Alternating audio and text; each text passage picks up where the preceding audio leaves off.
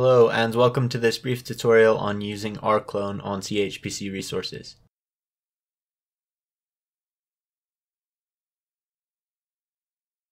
This video only covers the very basics of using rclone and will not walk through setting up the remotes, so if you need to do that you'll want to watch the relevant video for that.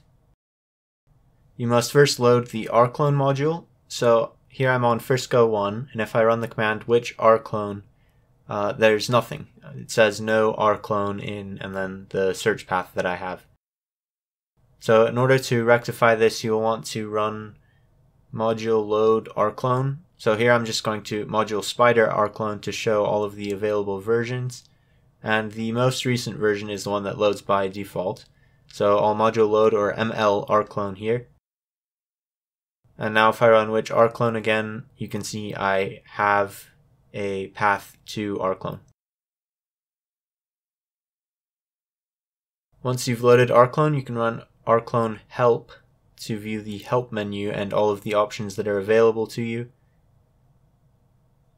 And there's also a list of commands here. So in case you don't know how to do anything, this is the best place to start, second only to rclone's online documentation at rclone.org.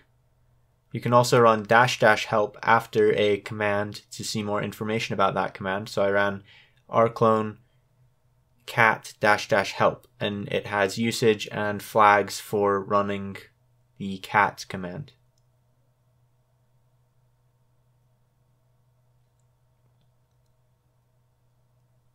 You can see which remotes you have configured by running the rclone list remotes command. Here I have an example set up with just gcloud using the University of Utah's Google Drive storage.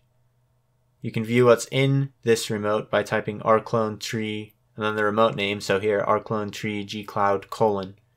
And this will display a list of all of the directories and files uh, sort of in a tree structure.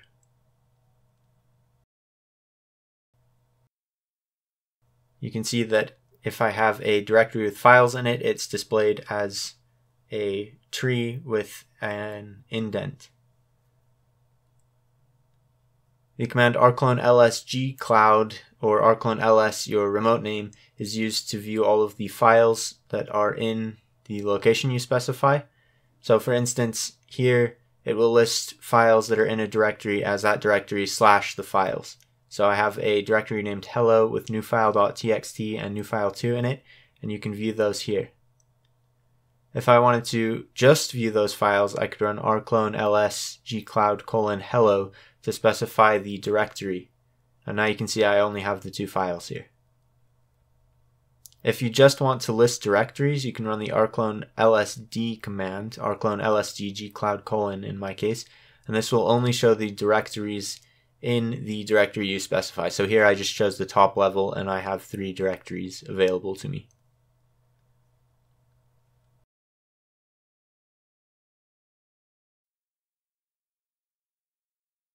If you're unfamiliar with the command, it's best to run rclone, the command name, and then dash dash help again to see what the available options are.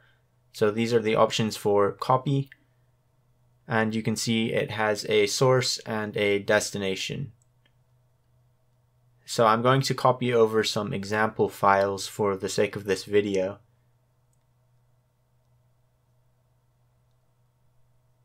So first I'll create these files by creating a new directory, rclone demo, and then just entering some text into some files in that directory. So I'll create the file here, name it hello. Now if I wanted to copy this to my remote, I could just use the rclone copy command, the source, which is on my local computer as rclone slash, or rclone demo, excuse me, uh, and then the remote location, gcloud colon, and then the remote directory name you want to use, in my case, just demo. So this will copy all of the contents from the rclone demo directory to a new directory demo on the remote. So just to verify that this has been transferred, I can run rclone cat and then the file, and it should output hello world. And indeed it does.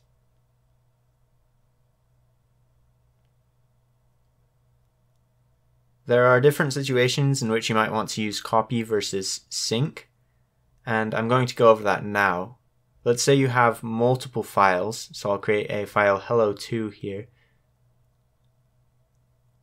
and then remove the first file. So I have a new file called hello2, but I have deleted the original file hello that contained the text hello world. If I copy the directory rclone demo to the remote directory gcloud colon demo, and then list the contents of that directory,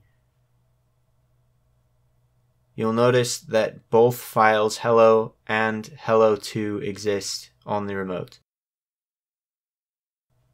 So if you use the copy command, it will not necessarily make the destination exactly the same as the source. So if there are already files in said directory, it will leave them alone if they're not modified on your computer. However, if you run rclone sync, it will erase any files that are present on the remote but not in the source. So now if I list the contents, only the file hello2 exists and hello is now gone. Generally, we recommend using the copy command just in case you have any large files that you no longer have on your local machine. In this way, they're kept on the remote, so you can back up your data still without taking up any of your storage quota.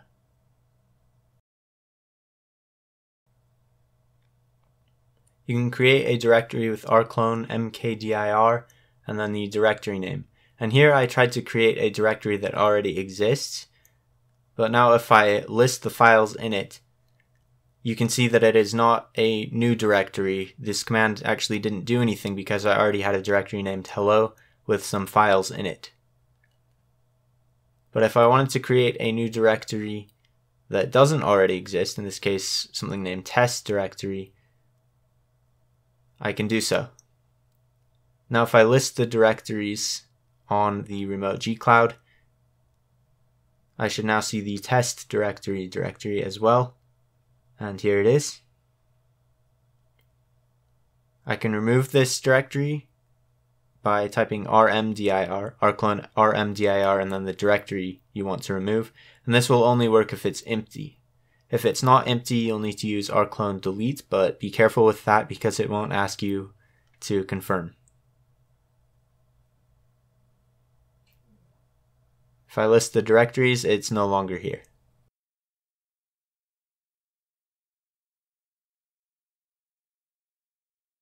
I hope this video was helpful. If you have any questions, you can email us at issues at chpc.utah.edu or stop by our offices in INSCC 405. Thanks for watching.